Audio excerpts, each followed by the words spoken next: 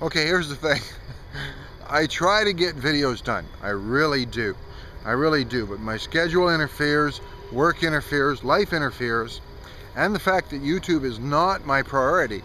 Um, I love the creative uh, outlet that it allows. I love the interaction with other people. I really do. And not to slight it in the least bit, not the least bit. But man, I mean, uh, I really got to get out and enjoy the weather once in a while. I live in Winnipeg, also known as Winterpeg. And, uh, you know, it's kind of like a, uh, a local unwritten bylaw. When it's nice out, get out and enjoy it. And for me, lately, you know, it's weird.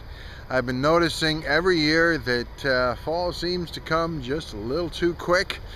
It's reminding me of the years passing just a little bit more than I really like, to be honest. Uh, no, sir. I don't like it. No, I don't. Uh, for example, already the colors of the landscape are starting to change. Starting to yellow, starting to brown. Summer is beginning to be over. Um, and for me, to be honest, having hit just hit the big 5-0 this year, it's starting to look a little bit grim. I don't like it. Oh man, what happened to that summer that goes on forever? Ah, well, you know, such is life.